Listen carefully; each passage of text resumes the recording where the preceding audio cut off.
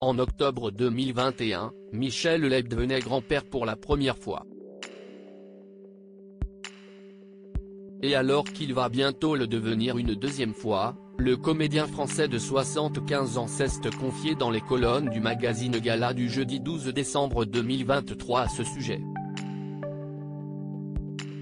Voir Gaïa, sa petite fille, note de la rédaction, toute petite, son émerveillement devant les cadeaux à Noël, ça me replonge 35 ans en arrière.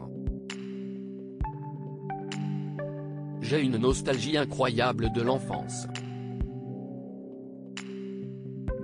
Pas la mienne, mais celle de mes enfants, et j'apprécie de revivre ces moments-là à travers ma petite fille, déclare-t-il à nos confrères. Je suis en admiration devant elle. Je suis bluffé par son regard, quand elle vous regarde, elle vous transperce.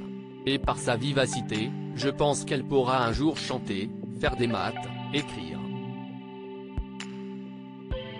Poursuit-il. Un nouveau statut familial que Michel Leb semble embrasser à merveille donc. D'autant plus que ses enfants, Fanny, née en 1986, Elsa, née en 1988 et Tom, né en 1980, qui sont tous issus de son union avec la journaliste Béatrice Malicet, sa femme, ont bien grandi et ont tous quitté le cocon familial depuis bien longtemps maintenant. Sa famille, une forteresse inattaquable ce n'est pas pénible de se retrouver à deux avec la femme qu'on aime, au contraire. Fanny et Elsa vivent en Suisse, Tom à Paris, mais on se téléphone tous très souvent, on a besoin d'entendre nos voix. Ça fait du bien, a-t-il également confié à ce sujet?